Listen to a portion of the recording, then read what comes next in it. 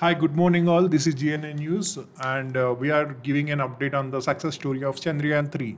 No country has reached there, the south pole of the moon, before. With the hard work of our scientists, we have reached here, says PM Modi on the soft landing of ISRO's Chandrayaan 3 on the moon.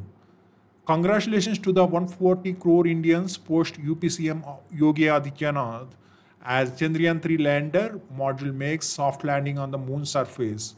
Sweets distributed at the Embassy of India in the United States as Chandrayaan 3 successfully lands on moon.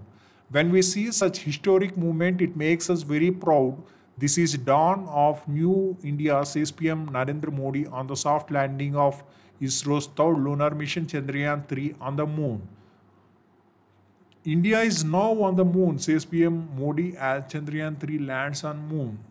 PM Modi addresses the nation as Chandrayaan 3 successfully lands on moon. Vande Mataram Bharat Mata Ki Jai reverse ISRO mission operations complex in Bangalore as Chandrayaan 3 successfully lands on moon's south pole. Chandrayaan 3 successfully lands on moon's south pole.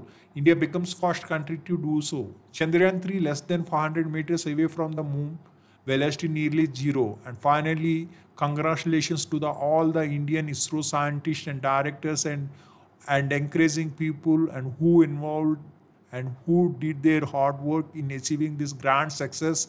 And it's time to celebrate. And thank you for watching this video. If you like this video please like and subscribe